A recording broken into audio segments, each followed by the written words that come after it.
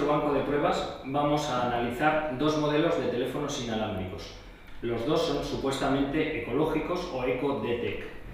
Eh, en este caso eh, vamos a probar el Gigaset, el AL170, que en su caja viene marcado como EcoDec. Lo hemos sacado tal cual viene del fabricante de la caja y lo vamos a conectar y vamos a medir si efectivamente, tal cual viene, es un teléfono ecológico.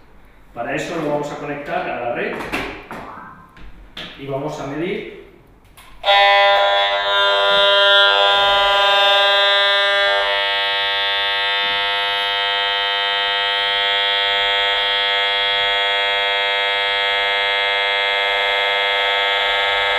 Estamos teniendo unos niveles de emisión de aproximadamente un milivatio. Ahora vamos a probar qué ocurre cuando sacamos el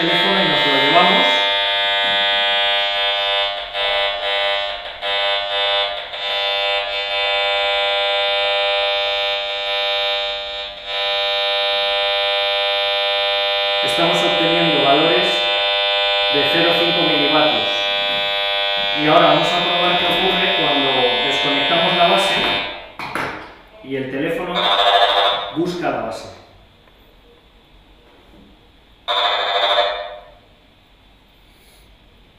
Vemos que también hay una emisión de radiofrecuencia. Esto ocurre porque este teléfono, tal cual viene en su caja, no viene configurado como en modo ecológico.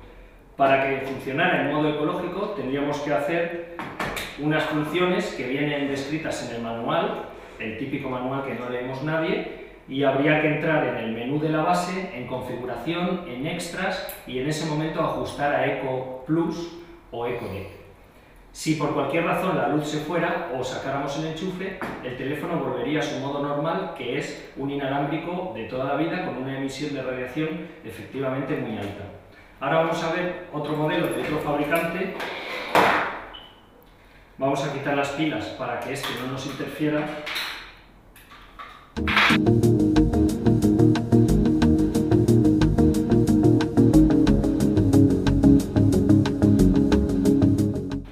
Bien, ahora vamos a comprobar otro modelo de la marca Orki.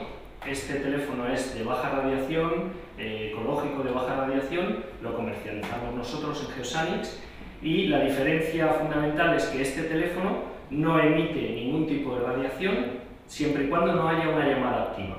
Vamos a conectarlo para ver lo que hace, nada más sale de la caja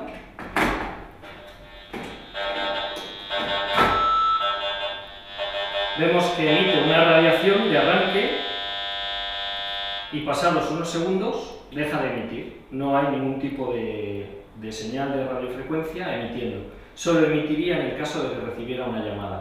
Instantes después de recibir la llamada, atenderla y colgar, volvería a dejar de emitir. Esto es un auténtico teléfono EcoDec.